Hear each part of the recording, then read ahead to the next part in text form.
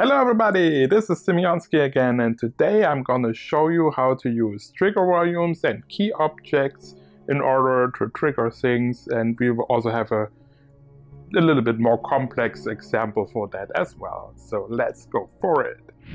Alright, I'm inside my macro room here. We turn on anything to grid so, how to use the trigger volumes in, uh, uh, in combination with objects? Because we already showed you, I already showed you how to use the trigger volumes. Um, search for it. Trigger in combination with yourself, basically, or with any player that enters. Um, I showed you that before. Yeah, this one, player entered, you enter, something happens, player exited, something else happens. We did this with a light, where we connected player entered um, to turn on the light and player exited to turn off the light. I will not do this again. I will focus on objects now here and how to use this in a good way. So let's create an object, simple object again. We will just have a um, basic shape, we'll have a cube.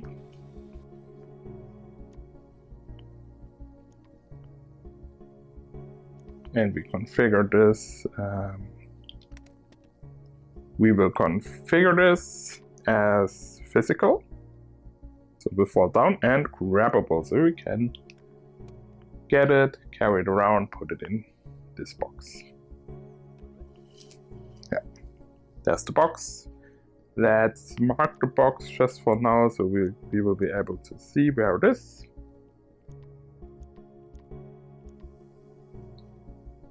Hmm. Yeah, let's use the tube and the surface and we will I will mark the ground here so we will always be able to see where we have our trigger zone, so to speak.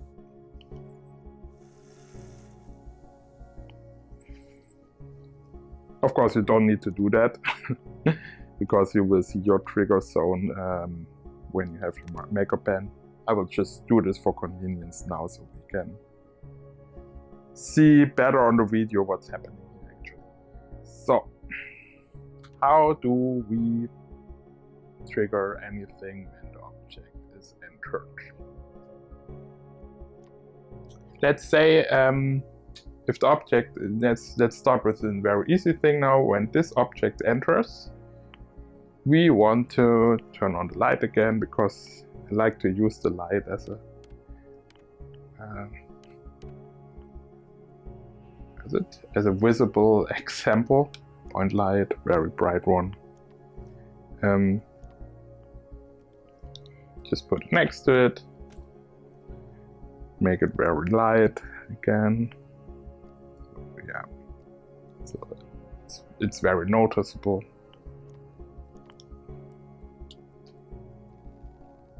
All right. So easiest way, of course, would be we just do it like we do with the did with the player object entered, turn on light, object exited, turn off light. So let's test it. Light is on, light is off. Light is on, light is off.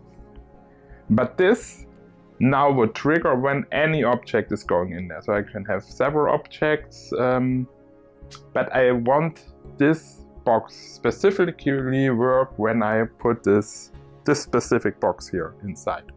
Not anything else. If I have any other box, it, it shouldn't trigger. How do I do this?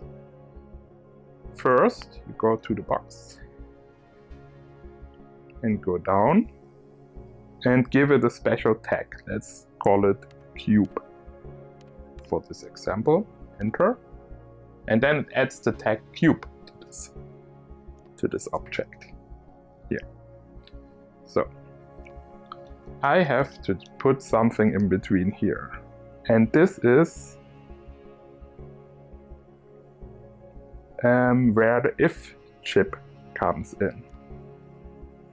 I will use the if chip.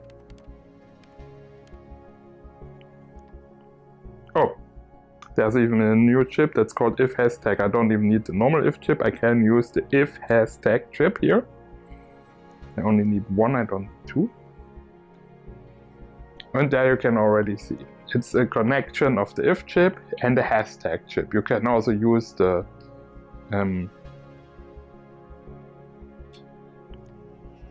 that's just uh, just for explanation. You could also, and I think in the past it was done like this, you could also use the if chip and the has tag chip.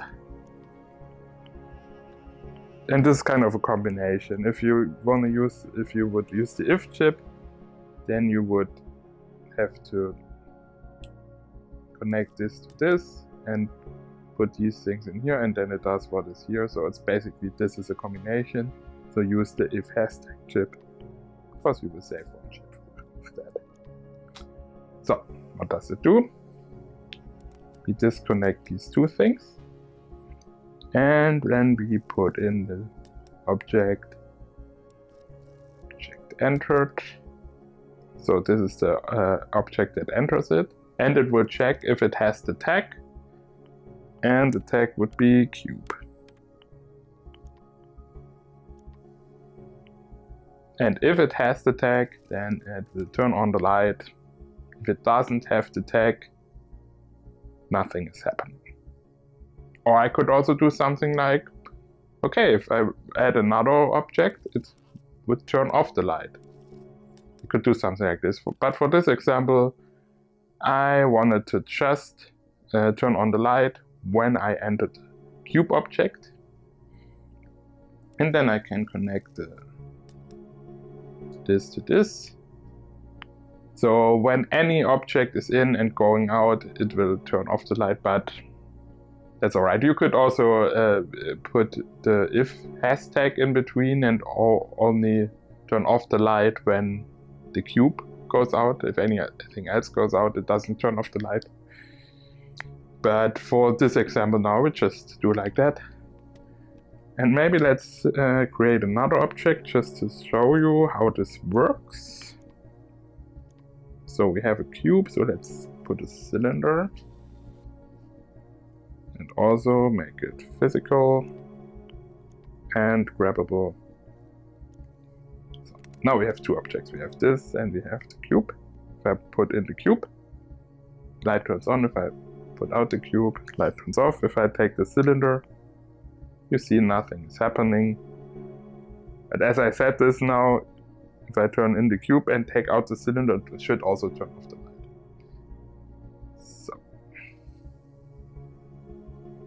So that's one thing, how you can work with objects. So how, uh, let's do a more complex um, complex thing that will also use some other um, some other uh, uh, things that we have here, some other uh, some other circuits that we learned before. Let's say we want to have two platforms, uh, two places to put things. Say here. This can be used, especially I would use this for escape room style games I will also give an example later on in a, in a full-out escape room game. But let's say we don't want to turn on the light right now. No, we want to do a check. Box check. So let's uh, do it for this sake, do it uh, now with a button. Um, and let's say we wanna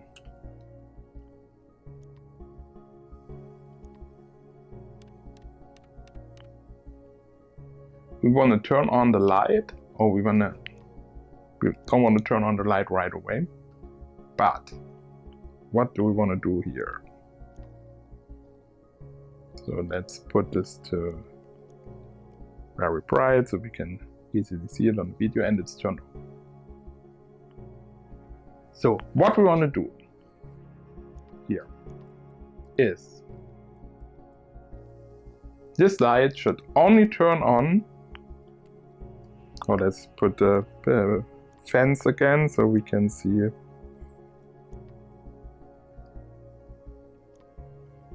uh, see where the second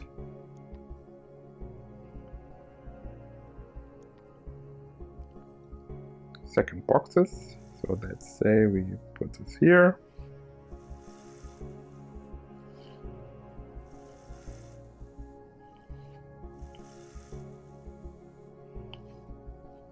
And maybe we will recolor it just for the sake of making it as convenient as possible. Let's recolor this thing as well. So, yeah, super convenient. Okay, so what we want to do now is if this object is in there and this object is in there, then this button will work. Otherwise, if anything else, if any, yeah, if, if the things are not in there or something else is in there, it will not work. So this would be something that you can super easily use for yeah, an escape room game or something where you need to find things and put it in the right spot. So for here we already have it. We have the if has tag cube, then something happens, otherwise nothing happens. Super convenient. We will just, for this sake, I want to just copy this because I also want if the object is exited, something happens, otherwise nothing happens. Only for this object, so you can do whatever with the other object, but if the cube is in there, it will trigger something. And now the booleans come in here handy. So we have we will have a boolean variable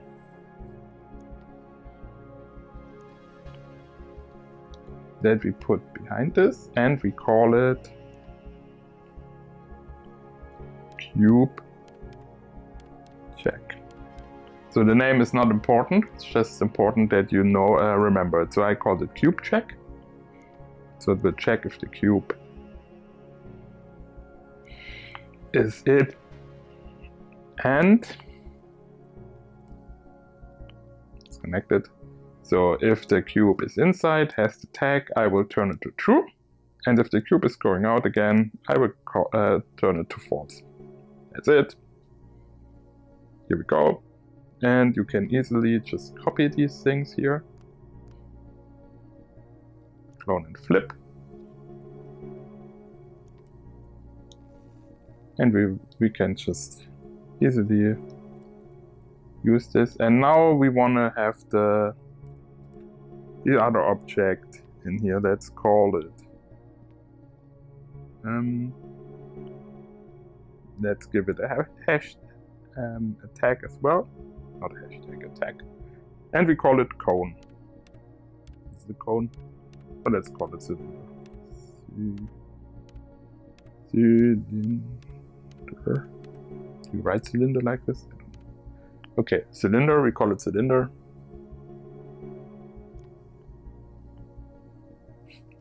Let me check. Well, how is it called here actually? Is it called cylinder? Or...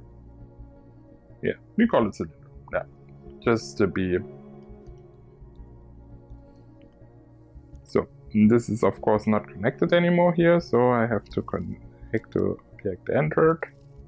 Which object is entered? And object exited and define the object here. And I will have to change this from cube to cylinder as well as this one. Change to cylinder.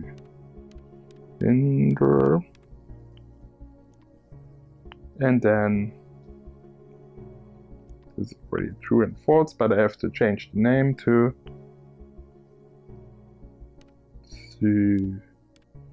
cylinder check. It's a pretty one. You can take a yeah. You can do shorter ones. Of course, it just has to be the same. Cylinder check. So. So what does this do now? Just uh, to make sure, if I add the cylinder to this, uh, if I add an object to this, it checks what object is entered, it checks the tag. And if this object has exactly the same tag, which is cylinder for now, then it will turn the cylinder check boolean to true. If it's uh, taken out and has the tag cylinder, it will put the cylinder check to false.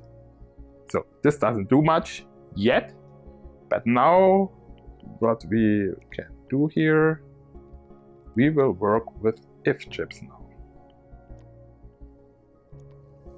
The ones I already showed you, we will have, we will need two if chips.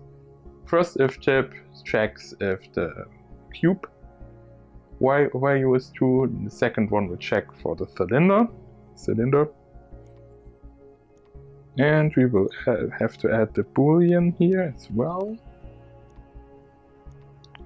So, boolean variable, boolean variable. So, that's all you need. You have to give the right name. So it's connecting to the right uh, boolean. check, and then we have cylinder. Check. So you don't, don't need to do anything here because we just want to check the output. So if the output cube check is true then the uh, the chain continues and checks if the output cylinder check is true.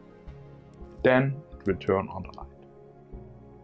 Let's say if, if it's wrong, uh, we want to turn uh, off the light. If it's, if it's already turned on and we press it again and this is not happening, we want it to turn off, so we go just just connect the both both of the else things turn off, so it will always turn off if any of these values is not true. So let's check if it works. And then I will explain shortly what it does again. So put this in here. We will put this in here. And now if I press it, the light should turn on. And there it is. So if I take anything out here, it's turning off also. If I put this in here and this in here, which is not, uh, doesn't have the right tag, doesn't have the right color, nothing happens. Only if I have this object in here, this object in here, with a light turn. So basically what it does, and we can also see this now here, now this value is true, and this value is true. So I already told you that uh, if, if the right thing is in there, it will do put the value to true, as you see here. And then the value, because it's the same name, will also be true here. It's checking both of the values and turning on the light if you put the object to the right spot. So that's how you use trigger volumes and tags and objects to trigger it. Thank you guys for watching again. As always, like and subscribe and visit my extra room that I built to show off the things that you can do and to give you a little bit insight, especially when the circuits come up, that you can just check out, make a selfie, post it, whatever, and uh, yeah, see you in the next tutorial. Bye bye.